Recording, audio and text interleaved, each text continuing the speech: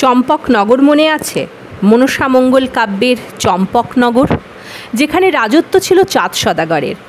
আজ চাঁদ সদাগর নেই, তবে আজও বর্তমান চম্পকনগর পানাগড় থেকে এক ফালি রাস্তা চলে গিয়েছে কসবার দিকে।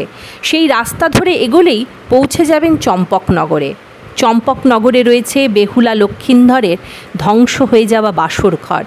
এখানেই মনসার নির্দেশে কালনাগিনী দংশন করেছিল লক্ষিন্দরকে। বাসর ঘরের অধিকাংশই নষ্ট হয়ে গিয়েছে। এই চম্পকনগর থেকে কয়েক কিলোমিটার দূরেই বিষ্ণুপুর। একসময় এই গ্রামের বাসিন্দাদের দিন কাটত বিষধর সাপের আতঙ্ককে সঙ্গে করে। সাপের ছোবলে প্রাণ হারিয়েছেন গ্রামের অনেকে। অসহায় বিষ্ণুপুরবাসী শরণ নেন সর্পদেবীর। কথিত আছে, বাংলার তেরোশো তিরানব্বই বঙ্গাব্দের ভাদ্র মাসের দ্বিতীয় দিনে গ্রামের বাসিন্দারা দেখেন, গড়াই পরিবারের অন্দরে ফনা তুলে সারা রাত ক্লান্তিহীন প্রহরায় রয়েছেন নাগরাজ। ভোরের আলো ফুটতেই মাথা নামিয়ে নীরবে সরে গেলেন তিনি। গ্রামবাসীদের বিশ্বাস, স্বয়ং সর্পদেবী আবির্ভূত হয়ে মানুষকে অভয় দিয়ে গেলেন। কাল বিলম্ব না করে সেই স্থানেই তারা গড়ে তুললেন সর্পদেবীর মন্দির। সেই মন্দির সংস্কার করে নবরূপ দেওয়া হয়েছে সম্প্রতি।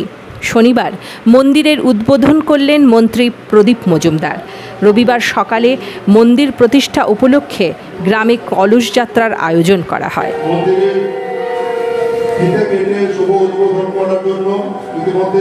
মন্দিরের উদ্বোধন করছেন রাজ্যের পঞ্চায়েত গ্রাম উন্নয়ন ও সমবায় মন্ত্রী সম্মানীয় প্রদীপ মজুমদার মহাশয়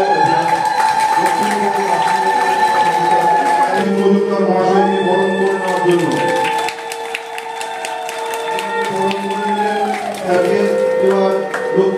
করে